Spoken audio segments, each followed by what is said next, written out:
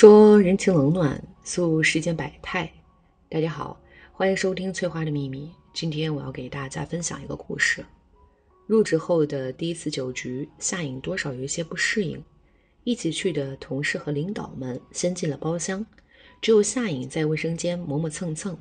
她一边洗手一边思考：如果待会儿有人劝酒，她该怎么应对？呆愣了好一阵子，直到同事出来叫她，她才回过神儿。甩干净手上的水珠，再甩甩脑袋，夏颖跟同事一起走进了包间儿。能容二十个人的大圆桌，只留下了一个空位儿。夏颖匆匆坐过去，只想当个小透明。本来他只是产品设计师，不用出席这样的场合。可无奈这次的甲方来头比较大，人家提出要对设计师亲自把关，领导自然不好推辞。果不其然。双方领导寒暄两句后，就来了个全员碰杯。夏颖象征性的抿了一口，不料甲方领导不干了，非说夏颖敷衍不给面子，要他干杯。夏颖刚落到椅子上的屁股呢，如坐针毡，脸也烧起来。他就说自己酒精过敏，对方领导咧开嘴就乐。我可听过太多这样的借口了。要不这样，你先喝一杯，我看你到底过不过敏。夏颖握着杯子，进退两难。突然有人站出来替他挡酒，这杯酒啊，我替夏设计师喝了吧。我作证啊，他真的是酒精过敏，咱可不能啊劝他喝，出了事儿啊都要担责任的。人群中一阵调侃的低呼，夏颖一半啊不自在，一半感激。顺着声音看过去，竟然是晨曦。一瞬间，夏颖脑子里像过电影一样闪过从前的事儿。夏颖和晨曦是大学同班同学，服装设计专业，女多男少。晨曦就是那个为数不多的几个男生当中的佼佼者，生了一副好皮囊，一张嘴又能说会道，这样的男生自然受到追捧。可偏偏晨曦只看中了夏颖，用晨曦当时的话来说，夏颖身上有一种人淡如菊的气质，沉稳又安静，正好对了他的路子。晨曦是爱的话呢，经别的同学的嘴呢传到了夏颖的耳朵里，夏颖只是淡淡的一笑，表示自己早已经有男朋友。有好事者追问她男朋友的情况，夏颖只说是从小就认识，算得上是青梅竹马。两人的事儿，双方家长是早就知道的。她大学毕业就要回家完成婚宴大事儿。晨曦听说后，不光没有放弃，反而投入了更多的感情。食堂打饭，水房打水，图书馆占座儿。晨曦也算能坚持。一晃过去两年多，夏颖不断拒绝，晨曦依然乐此不疲。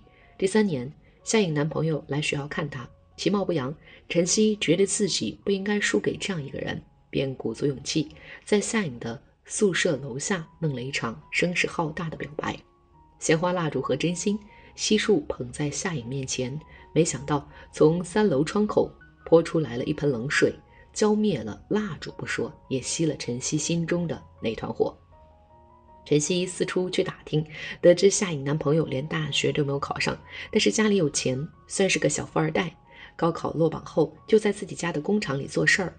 也许是出于不甘，又或是出于报复，晨曦和朋友四处散播夏颖为了钱和富二代在一起的言论。事情发酵了很长时间。那一阵子，夏颖不管走到哪里，都有人对她指指点点。夏颖不解释，却也不再搭理晨曦。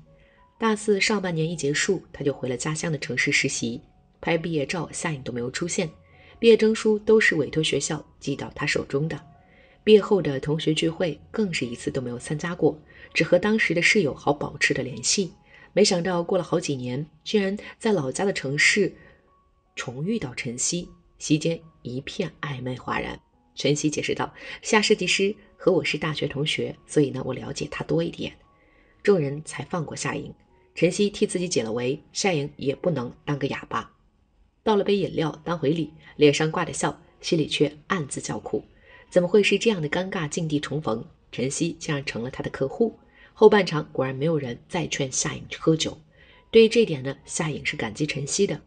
推杯换盏之间，对方公司敲定了双方的联络人，晨曦成了最合适的人选。老同学嘛，多少有点默契，比生人之间更好沟通。晨曦也欣然接下了这个任务，笑得一副谦谦君子模样。夏颖心里却百般不适，大脑飞速运转，不停思考着曾经结下梁子的两个人该如何和平相处。越想心里越发毛，酒局结束，有人提议继续第二场去唱歌，夏颖委婉地表示不想去，陈曦便顺势提出送她回家，领导这才放人。分别时还打趣说两人是要单独叙旧，那种心知肚明的语气让夏颖恶心。可为了能顺利离开，夏颖不得不忍着小情绪上了陈曦的车，一路无言。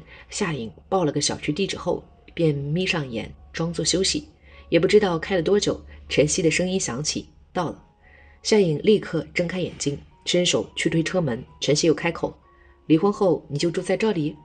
车灯照着前方，是一个老旧的小区，保卫室里连个值班的人都没有，看上去呢有些阴森。夏颖心里咯噔了一声，迈出去的一只脚又缩了回来。“你怎么知道我离婚了？”陈曦摸着鼻尖儿，眼里是有似有无的笑意。“这些年我不一直惦记着你吗？想打听你的事还不简单？要不你以为我为什么会出现在刚才那个饭局上？”气氛变得有些暧昧，夏颖干巴巴的笑了两声。陈曦接着说下去：“真的，我本来是在总部的。上个月分公司上报项目和合作单位人员组成，我审核的时候看到了你的名字，就留意打听了一下，原来真的是你。我记得你大学没毕业就回来了，后来听说你一毕业就结婚，还以为我没戏了，没想到这才几年呢你就离了，我这不就赶紧过来了。”陈曦还想再说些什么，这时候正好有车在后面按喇叭，夏颖如获大赦似的下了车。临走前，他听到陈曦冲他说：“明早我来接你去公司，咱们来日方长。”夏颖应了一句：“不用，我自己坐地铁很快，快速跑开。”他没回头，浑身竖起了汗毛，那是一种由内而外的惧怕和抗拒。一日，夏颖起了个大早，想要赶在陈曦到之前离开。没想到一下楼就看到陈曦的车停在那儿，有一瞬间，夏颖甚至都怀疑是不是前一晚上他压根儿就没走，硬着头皮走过去。晨曦从车里出来，将买好的早餐递给夏颖：“这么早，你肯定还饿着肚子，先吃饱再说。”夏颖有一些哭笑不得。上学的时候，陈曦就是这样，不管他愿不愿意，不管他拒绝了多少次，总是按着自己的意愿去做所有事。只是今时不同往日。从前，夏颖能硬气的拒绝，甚至能翻脸，最坏的结果也就是我老死不相往来了。可现在不同了，身份加持，晨曦是他的衣食父母，这一点他铭记于心。夏颖还记得昨天到家后，上司给他发来信息，叫他好好应对这次的合作，务必要让客户满意。甲方最大，夏颖实在没有底气去惹怒晨曦，更何况他现在急切的需要这份工作，毕竟薪水不菲。离婚后的他，担子上的责任无比重大。他没有从前傲娇的资本了。深吸口气，接过晨曦递来的纸袋，夏颖从容的坐进车里，劝自己忍一忍，用平常心对待。毕竟甲方爸爸都是上帝，忘记他是晨曦，忘记以前的不愉快，把这半年平稳的度过，拿到他该得的收入，这事儿就算翻篇了。见夏颖主动钻进车里，晨曦暗暗地松了一口气儿。没送陈曦去公司，而是将他带回了自己的公司里，理由很正当。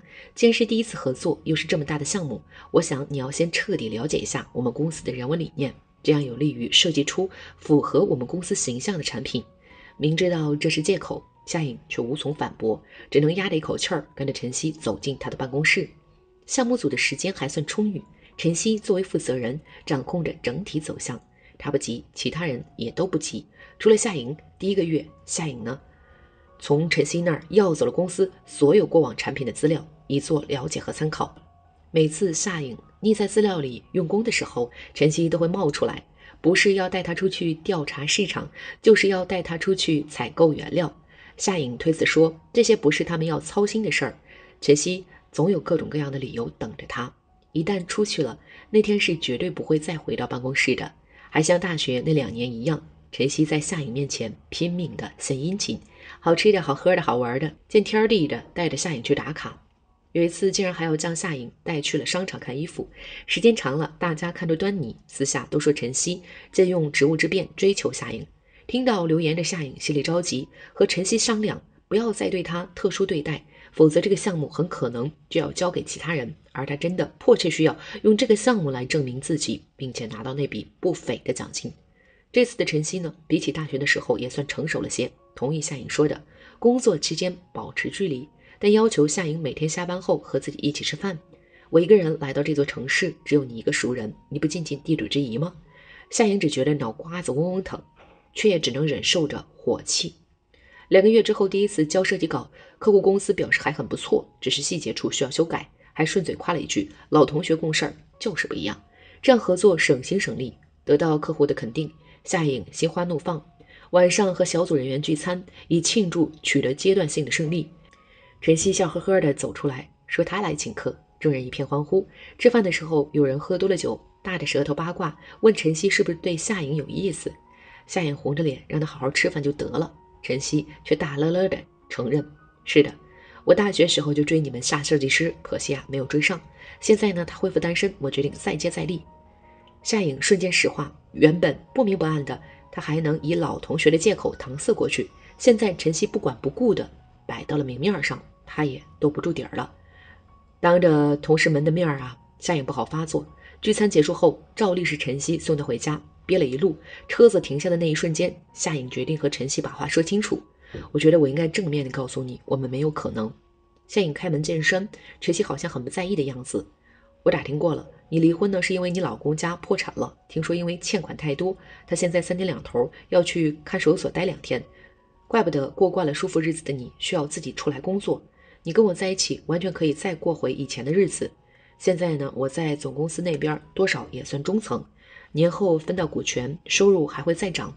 话一出口，夏颖感到一阵寒意。这个男人的讨厌还真不是表现在一处。夏颖觉得多说无益，直落下。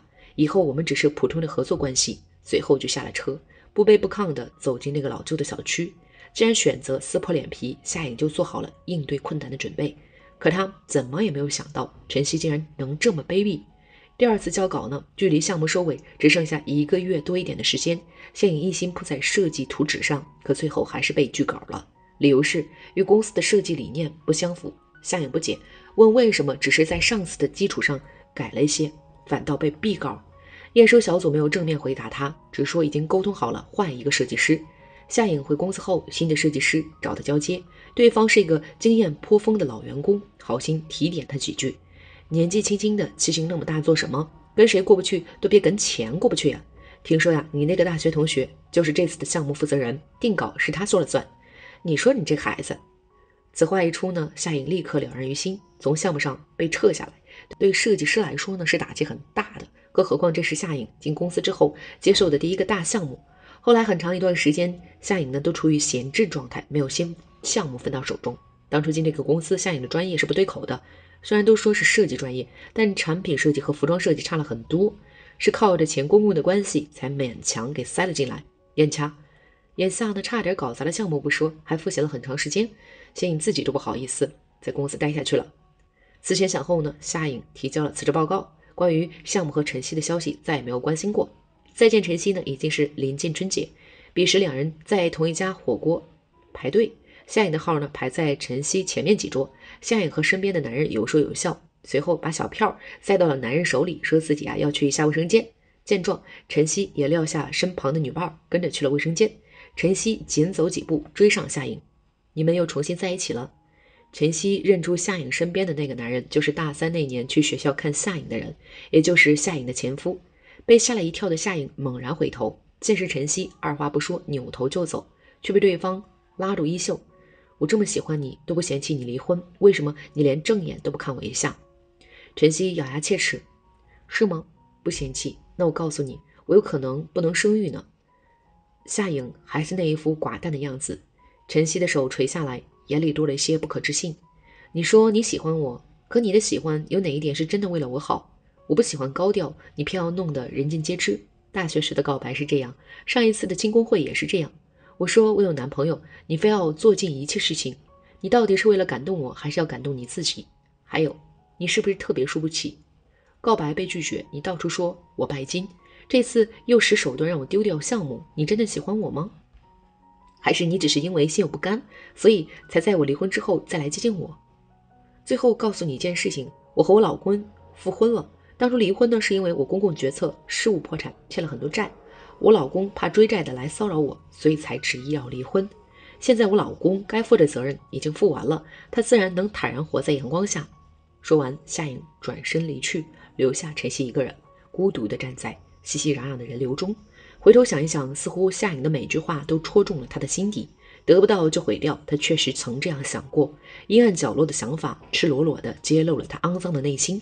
夏颖昂首阔步地向前走，她知道身后老公的目光会一直的追随着她。很庆幸这些年她对待垃圾人的态度一直分明。好了，今天的故事呢就到这里了。如果呢你有喜欢的故事，记得在视频下方留言，我们会尽力的满足您的需求，期待下次与您的分享。最后呢，想跟大家说，现在翠花已经正式开通了 Facebook，点击说明里的链接关注就可以私信给我了。翠花非常，翠花非常期待与大家的互动，在这里你永远不会孤单。